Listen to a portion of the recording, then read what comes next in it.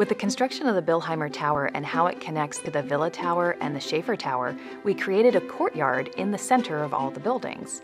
It's a tranquil garden, it's a green space, and it's really just a place for team members, for providers, for patients, for families to be able to step outside of the building and take a deep breath, get some fresh air, and hopefully have a little bit of peace and calm. Part of the courtyard has a water feature, so you'll hear the running water over some rocks. It's very calming. We have a child's play area, and then we also have outdoor seating. So if you want to grab a snack, grab a cup of coffee, and go sit outside and enjoy the weather, we have that space for you.